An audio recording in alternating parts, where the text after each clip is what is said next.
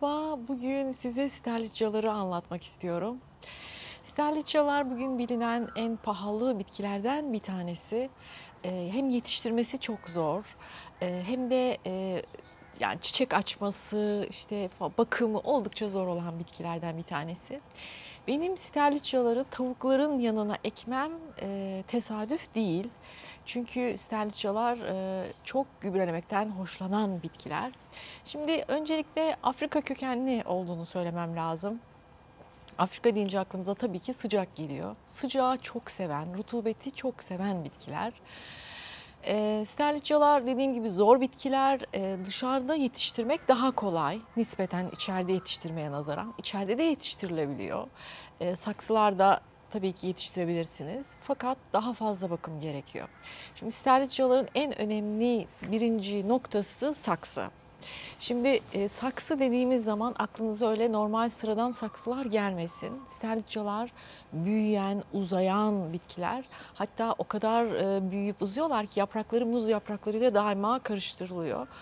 O yüzden onları e, bulabildiğiniz en büyük saksıya dikmeniz lazım. E, hatta ve hatta çöp kovaları da da yetiştirebilirsiniz. Onların altına birkaç tane işte dirille delik açabilirsiniz büyük çöp, çöp kovalarının. Ve onun etrafını belki bir işte metal bir kumaşla kaplayarak daha hoş bir görüntü verebilirsiniz ama e, mutlaka çok uzun ve büyük bir saksı olması gerekiyor. Öyle hani seramiklerde öyle şık saksılarda falan kesinlikle yetişmez sterliçya. E, bu en önemli konusu. İkinci konu toprak. Ee, toprak çok çok önemli çünkü serlityalar oldukça asitli toprakları seviyorlar. Bu da hayvan gübresi demek. Sadece işte hayvan gübreleri son derece asitli. O yüzden daha ekerken sterlityaları toprağını e, humuslu ve bol gübreli bir toprakla karıştırmamız lazım. Yani daha doğrusu e, gübre satın alıp o gübreyle toprağını karıştırmanız lazım. Tavuk gübresi olabilir, at gübresi olabilir ya da büyükbaş hayvan gübresi olabilir. Mutlaka e, böyle gübre satın alıp ondan sonra onu toprakla karıştırıp öyle sterlityaları dikmeniz gerekiyor.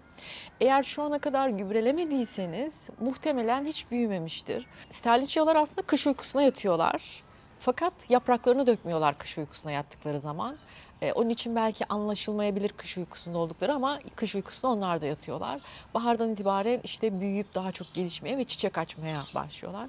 E, dediğim gibi tavukların yanına ektim ve onlar alttan toprağın altından kökleri yardımıyla bütün gübreyi tavuk gübresini alarak şu anda yüzlerce oldular.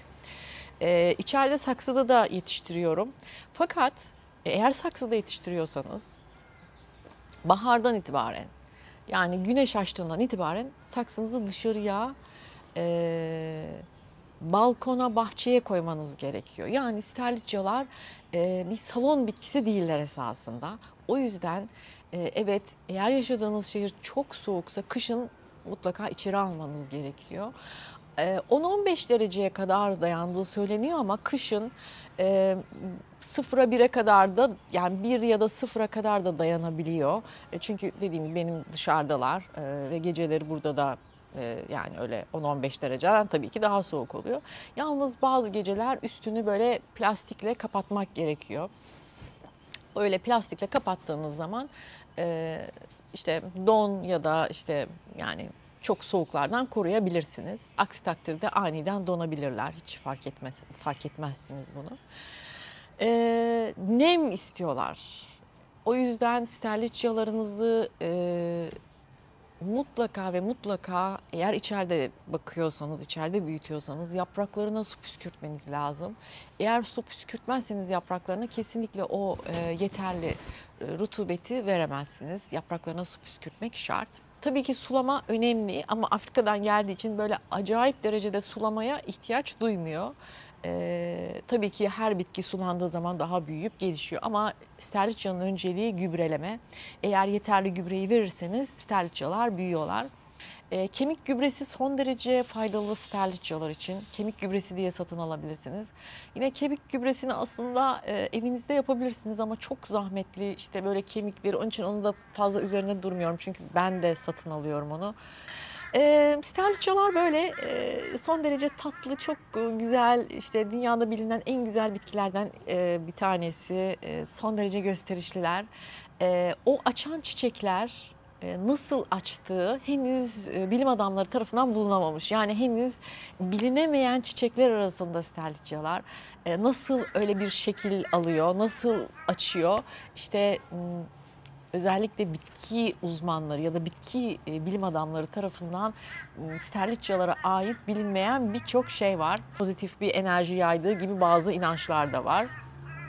Ve bunlar da batıl inançlar değil. Ee, şimdilik bu kadar. Sterliçya ile ilgili yorumlarınızı beklerim. Eğer siz de sterliçya yetiştiriyorsanız, e, püf noktalarınız varsa mutlaka yazın. E, her hepimize faydası olur o püf noktalarının. Çünkü hepimiz her gün yeni şeyler öğreniyoruz. Umarım hoşunuza giden bir video olmuştur. Bir sonraki videoda görüşmek üzere. Hoşçakalın.